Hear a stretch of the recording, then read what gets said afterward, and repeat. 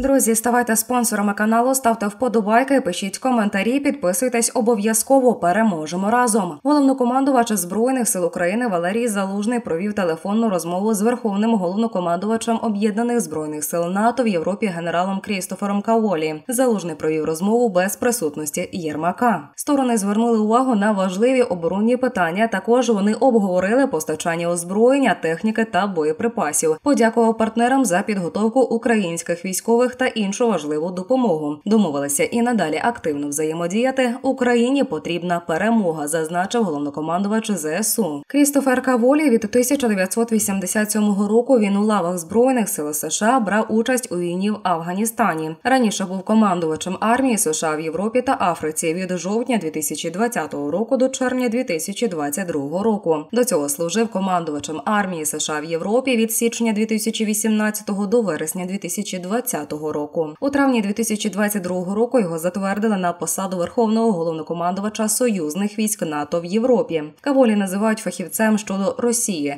Він має досвід розроблення політики щодо Росії у штабі збройних сил США і знає російську мову. Що ж, залізний генерал, історична постать, одна з найвпливовіших персон 2022 року. Усе це про головнокомандувача ЗСУ Валерія Залужного. Завдяки успішному керівництву обороною України під час широкомасштабної агресії Росії він зміг завоювати прихильність багатьох українців і схвальні відгуки на заході. Водночас є інша сторона медалі через значний авторитет та нинішню впливовість залужного у публічному просторі почали з'являтися теорії про існування політичної конкуренції між ним та Володимиром Зеленським. Мовляв, президент бачить у генералі свого суперника. Чи обґрунтовані такі припущення? Чи може бути генерал залужний конкурентом президенту Зеленському? І чи є у генерала конфлікт з офісом президента, і чи є ним насправді перші припущення про зародження політичної конкуренції між президентом та головнокомандувачем ЗСУ з'явилися навесні цього року. Декого на банковій починає хвилювати, що українці персоналізують героїчний опір своєї армії в особі головнокомандувача генерала Валерія Залужного. Він, до речі, нещодавно створив благодійний фонд. За даними української правди, в керівництві офісу президента це одразу сприйняли як потенційну загрозу. Частина найближчого оточення Зеленського боїться, що фонд залужного може перерости у політичний проєкт, зазначили журналісти української правди та додавали, що одним із тих, хто уважно стежить за потенціалом головнокомандувача ЗСУ є Андрій Єрмак. У 2021 році Валерій Залужний наголошував, що йому комфортно бути головнокомандувачем збройних сил України при верховному головнокомандувачі Володимиру Зеленському. Це людина молода, прогресивних поглядів. Це людина мого кола. Ми чудово розуміємося. Мені дуже приємно з ним спілкуватися. Хоча він досить жорсткуватий, вимогливий, але мені комфортно. У нас відносини не те, що я боюсь його, а відносини от справді двох нормальних людей, коли я боюсь його підвести. Розповідав тоді генерал. Після 24 лютого Валерій Залужний не робив ніяких коментарів про характер своїх стосунків із офісом президента. Військові можуть перетворюватися на успішних політиків, і історія знає такі випадки. Наприклад, після Другої світової війни генерал Ейзенхауер, який вів бойові дії в Європі, став президентом США. Тому так військові так чи інакше розглядаються як потенційні можливі політики, але після відставки, після того як їхня військова кар'єра завершена. Хоча, на жаль, не завжди військовий має політичне відчуття,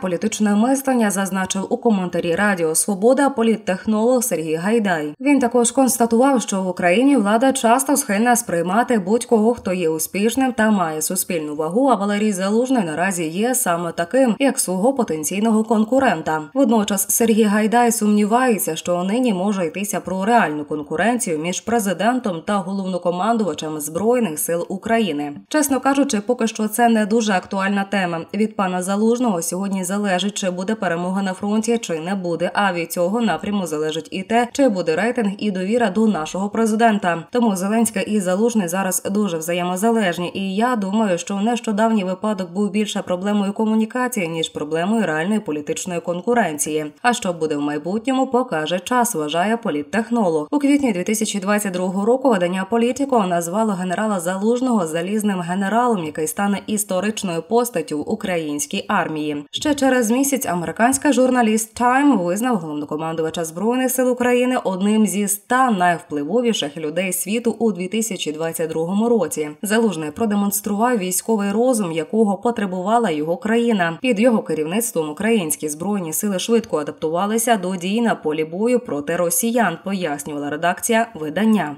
До зустрічі, друзі. Ставайте спонсорами каналу, ставте вподобайки, пишіть коментарі, підписуйтесь обов'язково. Переможемо разом.